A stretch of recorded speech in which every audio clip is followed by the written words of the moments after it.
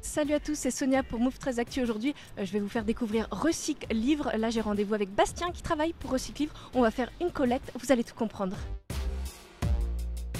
Direction les apprentis d'Auteuil.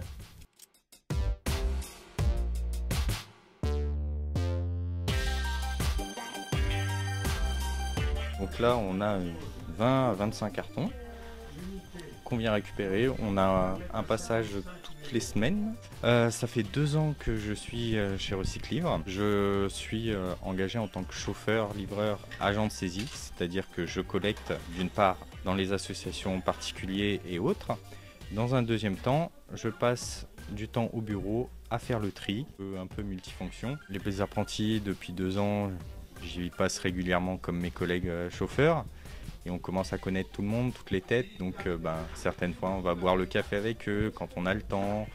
On dit bonjour à tout le monde. Chez les particuliers, euh, sont gentils parce qu'on vient les aider, on vient les, les débarrasser de leurs livres, ça leur fait de la place et tout. C'est aussi ça qui est vraiment appréciable, de pouvoir se sentir utile à aider.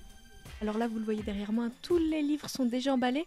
C'est bien pour Bastien, mais généralement, c'est pas le cas. C'est lui qui ramène les cartons chez les particuliers pour emballer tous les livres.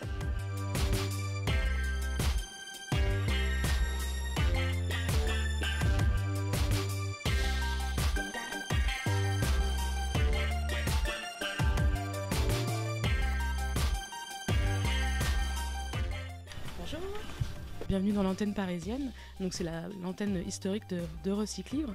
C'est ici qu'on collecte les livres après nos, tournées en camionnette électrique et c'est aussi euh, ici que les donateurs peuvent apporter leurs livres euh, du lundi au vendredi. Hum, comme vous pouvez le voir, on euh, on stocke tous les livres ici, les livres entrants. Euh, on fait un premier tri ici euh, et après, dans une autre partie de l'atelier, on va euh, encoder les livres qui vont après ensuite partir dans l'atelier chez Ares, notre partenaire logistique qui emploie des personnes en insertion. Donc on vient collecter euh, gratuitement à domicile euh, tous les livres euh, plutôt en bon état puisqu'on a vocation à les revendre. Il y a un certain nombre de livres qu'on ne, revend pas comme les dictionnaires et encyclopédies, les manuels scolaires et les livres de club. Et on reprend également des CD, des DVD, de jeux vidéo. En fait à chaque fois qu'on vend un livre, il y a 10% du prix du livre qui va à une association. Notre partenaire principal étant l'association Les Référlières.